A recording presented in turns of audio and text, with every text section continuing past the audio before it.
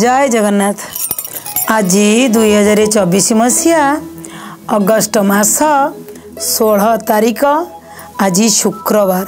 ଶ୍ରାବଣ ମାସ ଶୁକ୍ଳ ପକ୍ଷ ଏକାଦଶୀ ତିଥି ଅଛି ଦିନ ନଅଟା ଚାଳିଶ ପର୍ଯ୍ୟନ୍ତ। ବିଛା ରାଶିର ଧନୁ ରାଶିର ମୀନ ରାଶିର ଆଜି ଘାତବାର ଅଛି।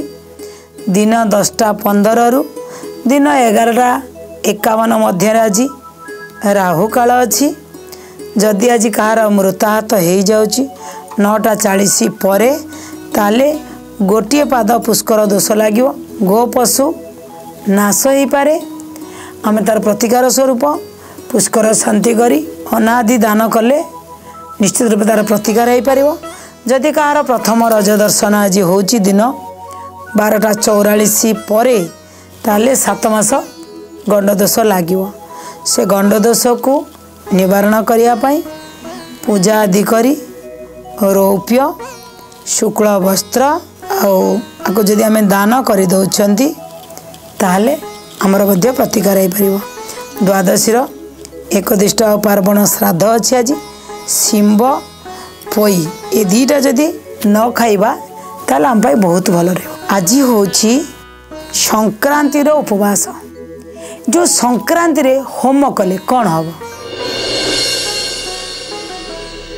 ସଂକ୍ରାନ୍ତି ଯଦି ପଡ଼ୁଛି ପ୍ରତି ସଂକ୍ରାନ୍ତିରେ ଘରେ ହୋମ କରନ୍ତୁ ଦେଖିବେ ଆପଣଙ୍କ ଘରେ ଯେଉଁ ନକାରାତ୍ମକ ଉର୍ଜା ଅଛି ଏ ନକାରାତ୍ମକ ଉର୍ଜା ପଳେଇବ। ଯଦି ଧନର ଅଭାବ ରହୁଛି ଯଦି କଳହ ଲାଗି ରହୁଛି ଯଦି ପିଲାମାନଙ୍କର କିଛି ଇମ୍ପ୍ରୁଭ୍ ଉନ୍ନତି ହେଇପାରୁନାହିଁ ତାହେଲେ ସଂକ୍ରାନ୍ତି କି ସଂକ୍ରାନ୍ତି ଯଦି ଆପଣ ହୋମ କରୁଛନ୍ତି ଘରେ ତାହେଲେ ଆପଣଙ୍କର ନକାରାତ୍ମକ ଶକ୍ତି ପଳେଇବ ବା ନେଗେଟିଭ୍ ଏନର୍ଜି ପଳେଇବ ପଜିଟିଭ୍ ଏନର୍ଜି ଆପଣଙ୍କ ଘର ଭିତରକୁ ଆସିବ। ତା ସହିତ ଆଜି ଅଛି କ'ଣ?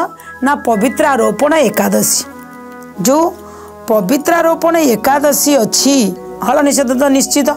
ଗ୍ରହ ପୂଜା ସହିତ ଆଜି ହଳ ନିଷେଧ ଏଇ ଯେଉଁ ପବିତ୍ରାରୋପଣ ଏକାଦଶୀ। ଏଇ ଏକାଦଶୀ ଠାରୁ ଆମର ଅଗ୍ନି ପୁରାଣରେ ଲେଖା ହେଇଛି ଏଇ ପବିତ୍ରାରୋପଣ ଏକାଦଶୀ ଶ୍ରାବଣ ଏକାଦଶୀ ଠାରୁ କାର୍ତ୍ତିକ ମାସର ଏକାଦଶୀ ପର୍ଯ୍ୟନ୍ତ ଶୁକ୍ଳପକ୍ଷ ଏକାଦଶୀ ପର୍ଯ୍ୟନ୍ତ ଏହି ସମୟରେ କୌଣସି ବି ଦେବତାଙ୍କର ପବିତ୍ରାରୋପଣ କରାଯିବା ଉଚିତ। ଏକାଦଶୀ ତିଥିରେ ବିଷ୍ଣୁଙ୍କର ପବିତ୍ରାରୋପଣ କରାଯାଏ। ଯେଉଁ ତନ୍ତୁ ରହିଛି ଗୋଟିଏ ସତେଇଶୀ ତନ୍ତୁ ବିଶିଷ୍ଟ ଗୋଟେ ଚଉବନ ତନ୍ତୁ ବିଶିଷ୍ଟ ଗୋଟିଏ ହେଉଛି ଶହେ ଆଠ ତନ୍ତୁ ବିଶିଷ୍ଟ ଇଏ ଯେଉଁ ରହିଛି କେଉଁଟା ନାଭି ପର୍ଯ୍ୟନ୍ତ ଆସିବ କେଉଁଟା ଜାନୁ ପର୍ଯ୍ୟନ୍ତ ଆସିବ କେଉଁଟା ଆଣ୍ଠୁ ପର୍ଯ୍ୟନ୍ତ ଆସିବ ଆଉ କେଉଁଟା ଭଗବାନ ଯେତିକି ଅଛନ୍ତି ସେଇ ପର୍ଯ୍ୟନ୍ତ ଯଦି ପବିତ୍ର ରୋପଣ ଆମର କରୁଛନ୍ତି ତାହେଲେ ଆମେ ବର୍ଷକର ଯେତିକି ପୁଣ୍ୟ ଫଳ ପାଇଥାନ୍ତି ଗୋଟିଏ ଦିନରେ ଆମେ ସେତିକି ପୁଣ୍ୟ ଫଳ ପାଇଯାଇଥାନ୍ତି ତେଣୁ ଆଜି ଏକାଦଶୀ ଥିବାରୁ ମଧ୍ୟ ଆଜି କ'ଣ କରିବା ନା ଆମେ ଅନ୍ନପ୍ରସାଦ ଖାଇବା ନାହିଁ ଆଜି ଯେହେତୁ ସଂକ୍ରାନ୍ତି ଅଛି ସଂକ୍ରାନ୍ତିର ହୋମ କରିବା ଗ୍ରହ ପୂଜା ଆମେ ରିଷ୍ଟ ଖନନ ପାଇଁ ମଧ୍ୟ ଗ୍ରହ ପୂଜା ଆଜି କରିପାରିବା? କ'ଣ ରହିଛି ଭଲ? ଆଉ କ'ଣ ରହିଛି ମନ୍ଦ ଆଜି ଦିନରେ? ନା ମେଷ ରାଶିରେ? ଆଜି କେଉଁଠି ଆପଣ ଅପଦସ୍ଥ ହେଇପାରନ୍ତି? ତା ପୂର୍ବରୁ ସତର୍କ ଅବଲମ୍ବନ କରିବେ। ବୃଷ ରାଶିରେ ସ୍ୱାସ୍ଥ୍ୟରେ ହାନି ହେଇପାରେ। ମିଥୁନ ରାଶିରେ ଧନରେ ଲାଭ ପାଇପାରନ୍ତି। କର୍କଟ ରାଶିରେ ମିଷ୍ଟାନ ଭୋଜନ ଆଜି କେଉଁଠି ଆପଣଙ୍କୁ ମିଳିପାରେ? ସିଂହ ରାଶିରେ ଅଯଥାରେ କେଉଁଠି ଅଘଟଣ ଘଟିପାରେ ଆଜି।